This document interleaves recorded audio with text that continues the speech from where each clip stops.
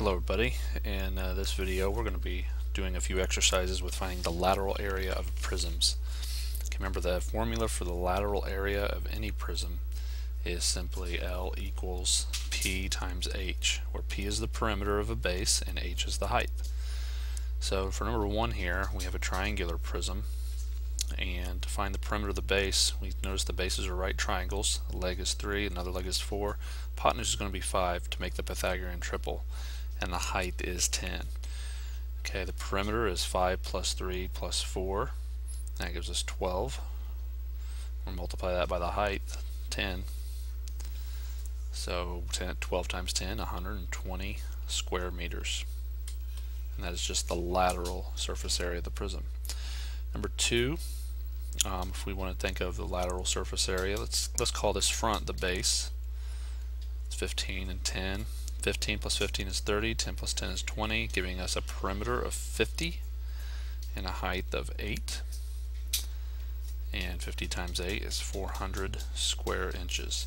Now, eh, you could call this different bases depending on how you look at it. So depending on how you call the bases, you could also get a lateral surface area of 460 or 540.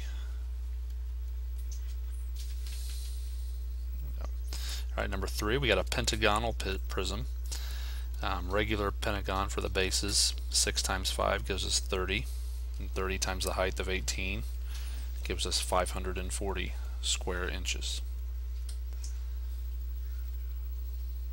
Okay, for number four, um, it looks like we have um, a trapezoidal prism. Notice the bases are trapezoids, and the perimeter around each base around each side here is 10, 10, 20, and 9, uh, giving us a perimeter of 49.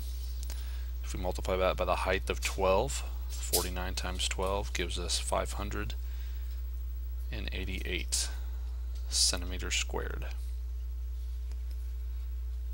Okay, for number 5, again we have um, rectangular prism similar to number 2.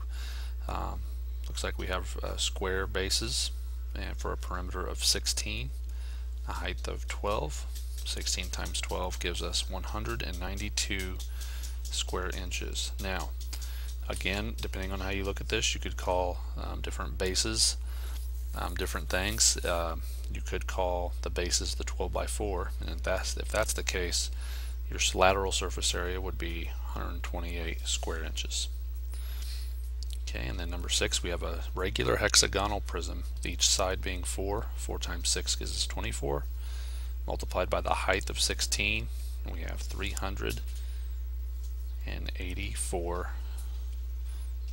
meters squared. And there we are.